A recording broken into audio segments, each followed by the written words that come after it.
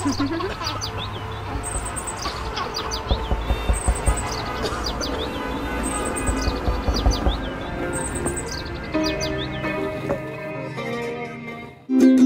Yo. So we're reporting from the Kell in downtown McKinney. One year after we were here, we had kind of a strange experience with some flickering lights.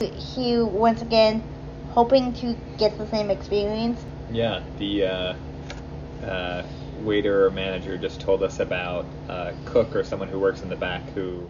She said that during the week, when we don't have the downstairs open, that she will occasionally hear the bathroom doors open back down here and they flush by themselves, or she'll hear people walking in and out of that of our back door back here and hear footsteps down here, and you you can't hear anyone upstairs, so it's not like you can hear because there's a six foot crawl space between our second and first floor, right? So like you wouldn't hear us up there unless you were just hearing the ladder kind of coming down right here. Right. So again, like I said, I don't know if it's real or not, but she said it is, and she's here more than I am. Uh, how long has she been working? She's been working here for a while, like at least five to ten years. Pretty weird. Yeah. And uh, once when we uh, started, uh, when I started coming here with my family, I would feel like someone like like watching me, and there'd be no one behind me, and I believe heavily in that kind of stuff. Mm. And you, so you feel kind of a pre- presence here. Yeah. Well, not anymore, but I when I restarted, I coming here, I would. Hmm. Oh well, who knows? From what we were told last time, that uh, this building is like what 200 years old. Yeah, yeah, but that it got burned down. Yeah. Sometime in the 1800s. And uh, and apparently the um electricity is like really finicky here, but uh it, but I don't believe in the coincidence coincidences at all. Uh, and last time uh a light uh went out uh, and I thought that was really weird. Hmm. Yeah, it was weird.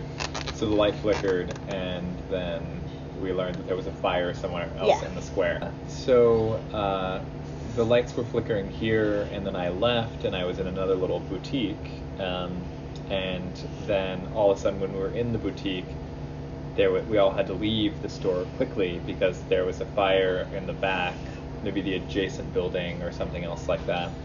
Um, so it's just it was strange because you and I were just here talking about the history of fires in downtown McKinney, and like Yeah. we're talking about it, the lights flicker. I walk over, and then all of a sudden there's a fire. This isn't uh like this is like two, not even two minutes after leaving. Mm. It was like 30 seconds between each inc- incident. Right. It was like Yeah.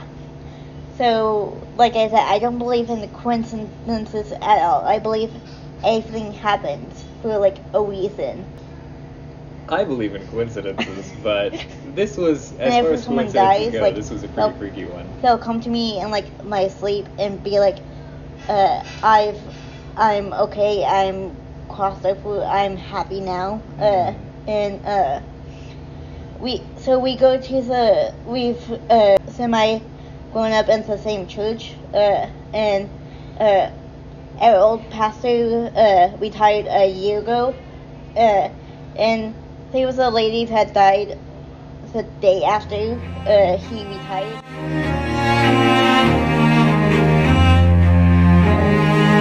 And she came, uh, she came to me in my dreams.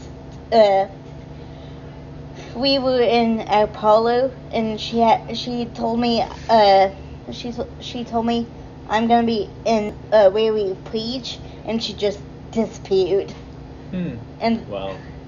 and then uh and and then like maybe like a week after she died or something uh, it was like 2.30 a.m i heard a knock on my door and a l- really like low tone jade go to bed and I, and I responded okay and then i asked everyone in my household if they were up at that at that time and everyone was like i was in bed Oh so man. Wow.